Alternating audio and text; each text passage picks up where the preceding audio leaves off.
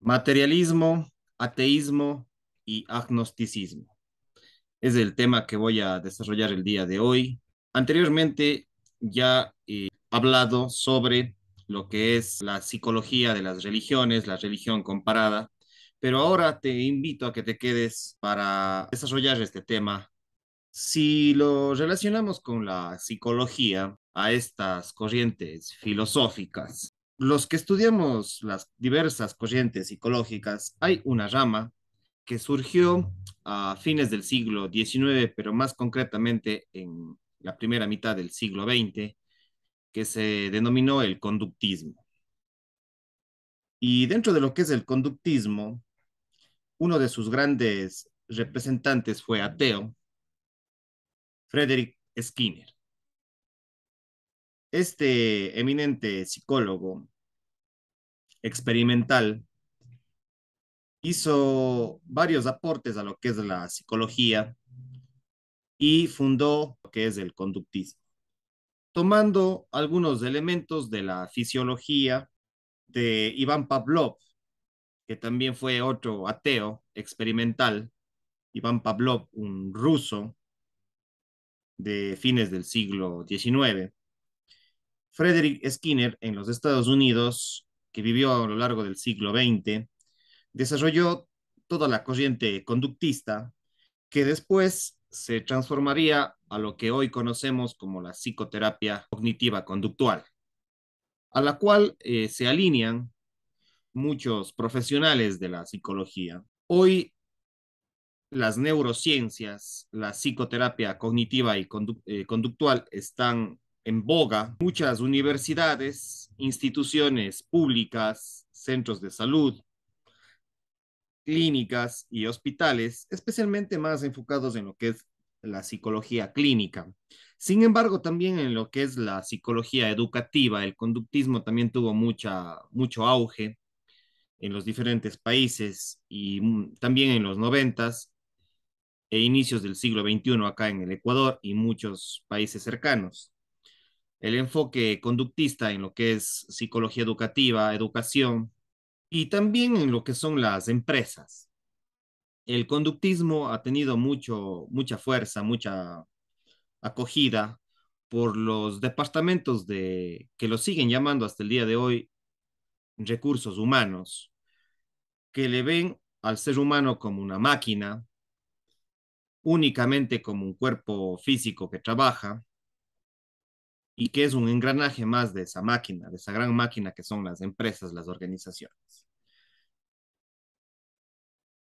La perspectiva de causa-efecto, las perspectivas lineales de la conducta humana, la experimentación con animales, como lo hizo Skinner, lo hizo Pavlov, eh, John Watson, entre otros. Y hoy Muchas de estas perspectivas tienen que ver con las neurociencias, que intentan explicar la conducta humana únicamente a partir del funcionamiento de las neuronas, de la bioquímica del cerebro, de las conexiones neuronales, de las estructuras del cerebro, y se dice que la mente está en el cerebro. Esta es una de las perspectivas materialistas de entender la conducta humana, el comportamiento humano y, el mundo. Entonces, si bien antes ya he reflexionado sobre las diferentes corrientes religiosas, tanto las religiones paganas, las religiones dármicas, las religiones abrámicas, he venido ya reflexionando sobre eso y su conexión con la psicología. Pero hoy quiero profundizar un poco más en lo que es el materialismo, el ateísmo y el agnosticismo, que está mucho en ciertas ramas de la ciencia, especialmente en muchas universidades y por muchos científicos. Pero antes de, ir a profundizar en el materialismo, el agnosticismo y el ateísmo, quiero invitarte a que te suscribas a mi canal de YouTube si te interesan estos temas. que actives la campanita para que te lleguen más notificaciones de otros videos que seguiré desarrollando. Además, puedes generar comentarios, sugerencias en los comentarios para que aporte al algoritmo de mi canal de YouTube y se dé a conocer más de este canal. También ofrezco cursos en Udemy, en esta plataforma. Doy cursos online de psicología, de psicología profunda, entre otros temas. Hago lo que es educación online en la plataforma de Udemy, aparte de, de YouTube. Entonces, si estás en este momento en YouTube, te invito a la descripción de este video. Ahí te vas a encontrar con mucha información sobre los cursos en Udemy, sobre otros videos que ya he venido desarrollando sobre religión, religiones comparadas, psicología, filosofía, entre otros temas. Eh, también quiero invitarte a que mm, puedas también seguir estos cursos y doy asesoría psicológica también de manera online y quiero ahora también continuar con lo que es el materialismo, el ateísmo y el agnosticismo. Eh, mucho más antes que la psicología conductista, mucho más antes que la psicología conductista de la psicoterapia cognitiva y conductual, estos enfoques tienen, las, tienen como base lo que es el materialismo, y la ciencia material, la ciencia mecánica, la ciencia materialista, materialista pero también en la revolución científica. Especialmente toma fuerza en la revolución científica europea, después en la ilustración francesa y que se expandió al mundo, en el enciclopedismo científico, y después ya en el siglo XIX y el siglo XX hasta la actualidad, en el cientificismo de algunos promotores. No comienza el ateísmo y el agnosticismo en la revolución científica, pero tuvo su mayor auge a partir de ella. Si es que vamos al ateísmo, el ateísmo hay en las diferentes culturas, ha habido en las diferentes culturas, sumerias, egipcias, asiáticas, eh, eh, budistas, hinduistas, etc. Entonces, el materialismo y el ateísmo es muy antiguo. Sin embargo, con, con la revolución científica a partir de Copérnico, de Kepler, incluso un poco más antes en el Renacimiento italiano y europeo con, con ciertas perspectivas de Leonardo da Vinci, entre otros, se va a consolidar la ciencia y el pensamiento racional, el pensamiento lógico, las perspectivas racionalistas, materialistas, lógicas, matemáticas, se va a consolidar a lo largo del siglo XVI, del siglo XVII y mucho más con la, con la ilustración francesa.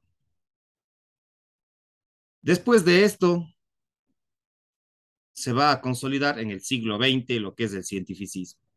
Pero hay varios autores que han aportado a este cientificismo ateo y agnóstico.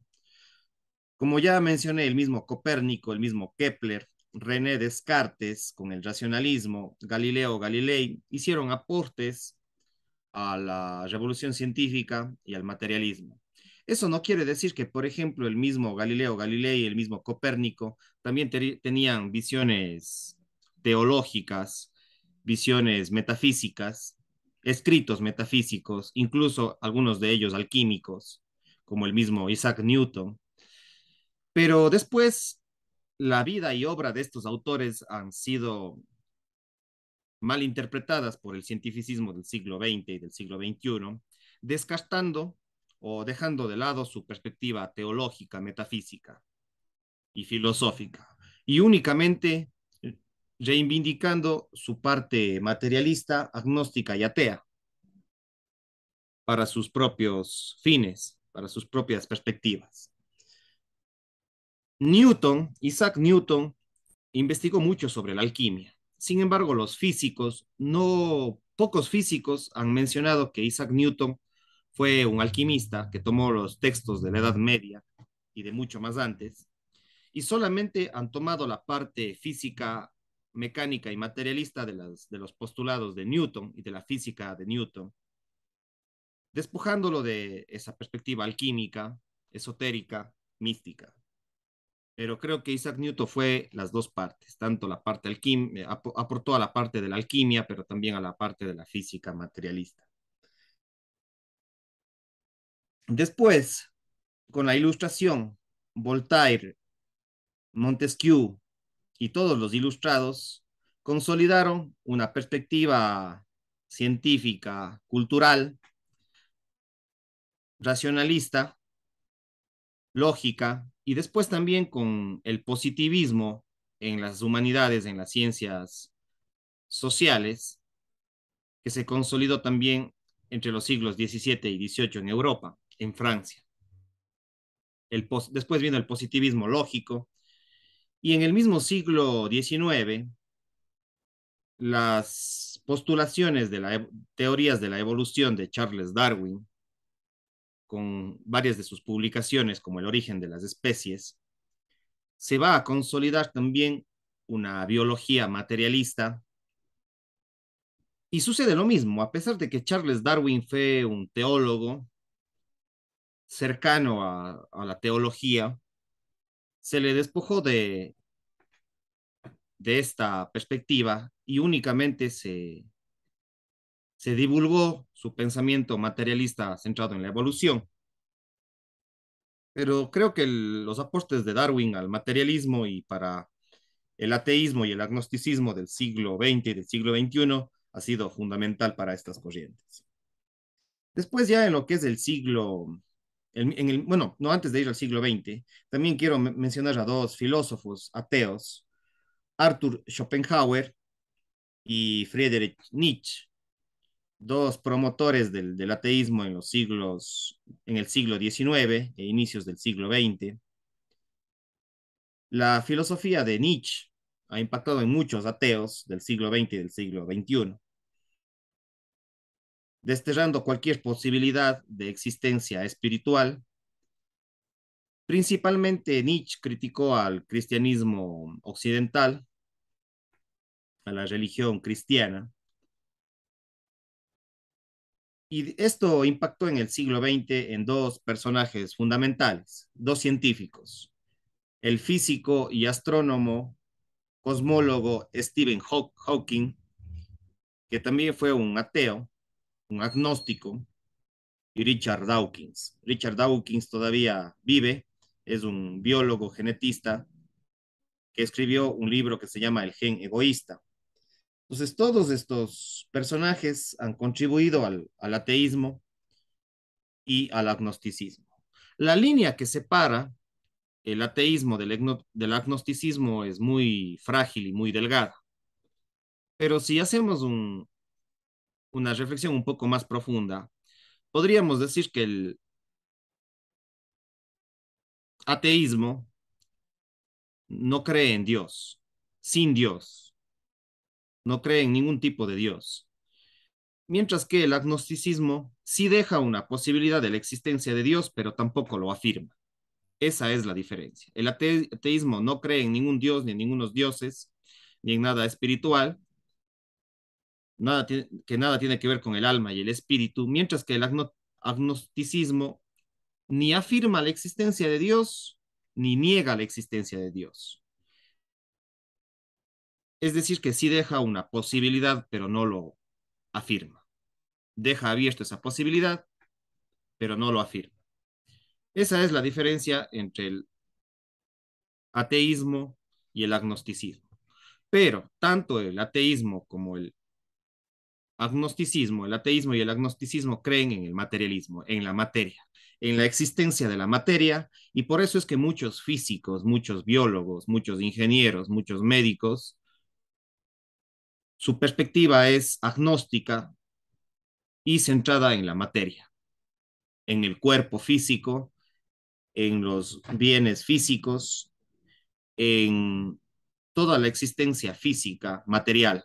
Y por eso es que podemos decir que el ateísmo y el agnosticismo, si bien se dicen que no tienen ninguna religión, pero, entre comillas, su religión es la materia, el materialismo. Por eso es que varios científicos, como ya dije, genetistas, médicos, físicos, ingenieros, y muchas personas inconscientemente se centran y se basan en una religión, entre comillas. ¿Cuál es su religión? La materia, el materialismo, el mecanicismo, pero especialmente la materia y el materialismo.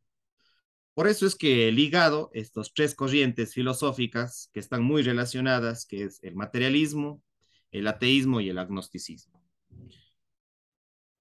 Y por eso es que algunos psicólogos, psicoterapeutas, están enfocados en esta perspectiva materialista. Tenemos al mismo Albert Ellis, que en el siglo XX planteó la psicoterapia cognitiva y conductual, que fue un ateo y estoico. El mismo Steven Pinker, también es un neurocientífico, psicólogo cognitivo, ateo, Steven Pinker, del cual también ya he hablado en otros videos. Iván Pavlov y Frederick Skinner, que ya los mencioné. Con esto voy cerrando esta perspectiva. Habrá mucho más que profundizar con muchos otros personajes, pero creo que estos son los aportes en lo que es esta, entre comillas, religión del materialismo, que se despojan de cualquier corriente como la de Carl Gustav Jung, como la de Freud, como la, como la psicología transpersonal de, de Ken Wilber, de Stanislav Grof, de Maslow, de Rogers, entre otros. Se despojan de esta visión espiritual o esta perspectiva del inconsciente, porque estas perspectivas creen y adoran y rinden culto a la materia y a la experimentación. Bueno, con esto eh, voy cerrando, invitarles a mis otros videos que tengo sobre psicología de las religiones, religiones comparadas o religión comparada, religiones dármicas, religiones paganas, religiones abrámicas, que he venido también ya desarrollando anteriormente. Te invito a que vayas a la descripción de este video, ahí te vas a encontrar con cursos, con bibliografía que te recomiendo, con otros videos que he venido desarrollando. Estoy a las órdenes, sigue mis cursos en Udemy sobre psicología. Pasa bien, cuídate mucho. Chao, chao.